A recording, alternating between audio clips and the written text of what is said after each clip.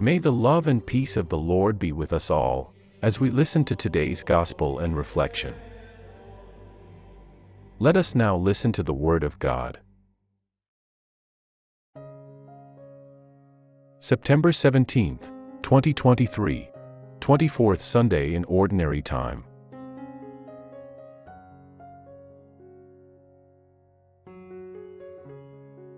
A reading from the Holy Gospel according to Matthew. Then Peter, drawing near to him, said, Lord, how many times shall my brother sin against me, and I forgive him? Even seven times? Jesus said to him, I do not say to you, even seven times, but even seventy times seven times. Therefore, the kingdom of heaven is compared to a man who was king, who wanted to take account of his servants. And when he had begun taking account, one was brought to him who owed him ten thousand talents. But since he did not have any way to repay it, his lord ordered him to be sold, with his wife and children, and all that he had, in order to repay it. But that servant, falling prostrate, begged him, saying, Have patience with me, and I will repay it all to you. Then the lord of that servant, being moved with pity, released him, and he forgave his debt. But when that servant departed, he found one of his fellow servants who owed him one hundred denarius. And taking hold of him, he choked him, saying, Repay what you owe.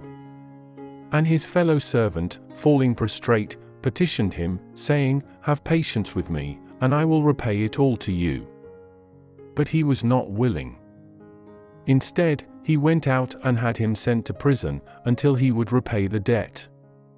Now his fellow servants, seeing what was done, were greatly saddened, and they went and reported to their lord all that was done. Then his lord called him, and he said to him, You wicked servant, I forgave you all your debt, because you pleaded with me. Therefore, should you not also have had compassion on your fellow servant, just as I also had compassion on you? And his lord, being angry, handed him over to the torturers, until he repaid the entire debt. So, too, shall my heavenly Father do to you if each one of you will not forgive his brother from your hearts. The Gospel of the Lord.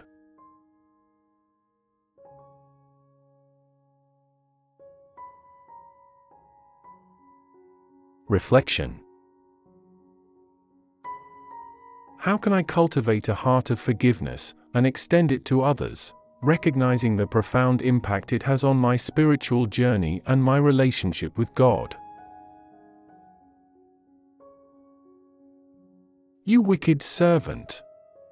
I forgave you your entire debt because you begged me to. Should you not have had pity on your fellow servant, as I had pity on you? Then in anger, his master handed him over to the torturers until he should pay back the whole debt. So will my heavenly Father do to you, unless each of you forgives your brother from your heart. Matthew 18 verses 32 to 35. Love, kindness, gentleness, mercy, these and many like qualities are easy to think about. They inspire us to be holy by growing in virtue. But sometimes we need more. Sometimes pondering the beauty of the virtues and fruits of the Spirit do not suffice to help us embrace a life of holiness. This is one of the reasons for our parable today. The spiritual exercises of St. Ignatius of Loyola present us with a structure by which a spiritual director may lead a retreatant through a 30 day private retreat. Ignatius outlines 30 days worth of meditations. Interestingly, Ignatius does not begin by inviting a person to ponder the beautiful virtues to which they are called. Instead, for the first week, he has the retreatant ponder the horror of sin and the devastating effects that sin has upon a soul.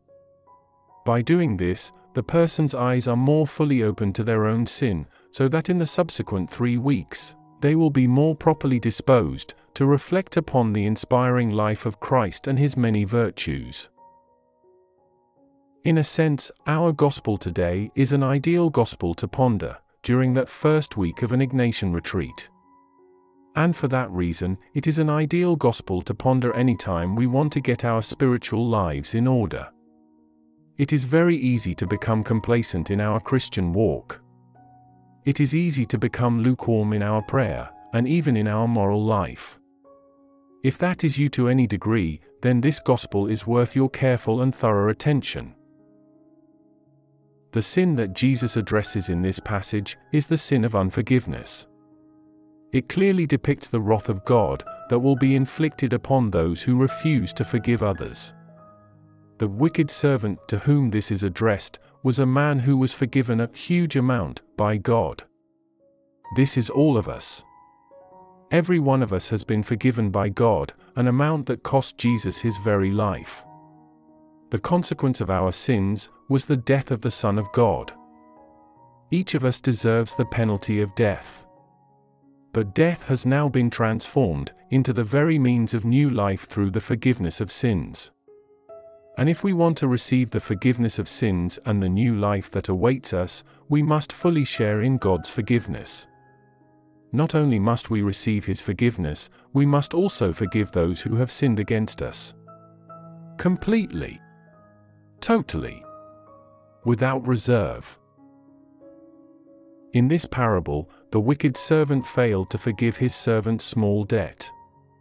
In fact, every sin committed against us, no matter how grave in the eyes of God, is a small debt compared to the debt we owe God. For that reason, we must never hesitate to forgive. Never.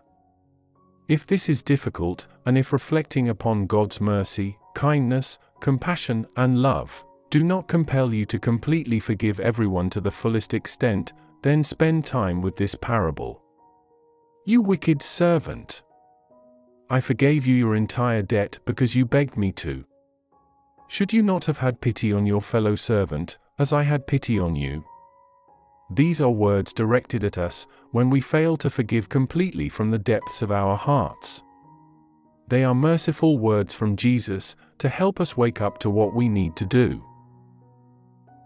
In a commentary on this passage from St. Thomas Aquinas, the torturers spoken of, to whom we will be handed over if we do not forgive, are the demons. They will torment us when we lack forgiveness toward others. The torture, for now, will come in the form of obsessing over our wounds, dwelling upon thoughts of revenge, holding grudges, and lacking interior peace. This is the work of the demons, and they will torment us this way until we forgive.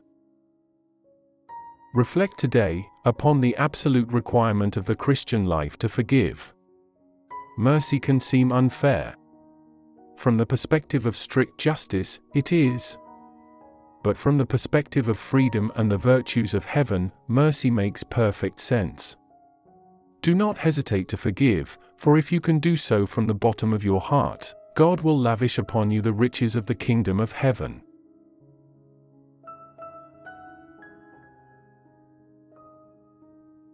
Let us pray. Most merciful Lord, you have forgiven me a huge debt. The cost of my sin was your death on the cross.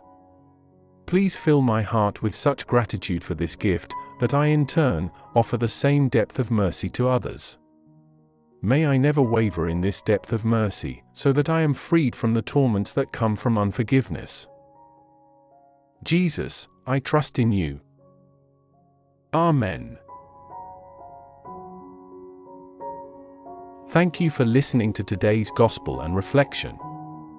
We hope that our small effort gave you a bit of inspiration as you journey your day with God.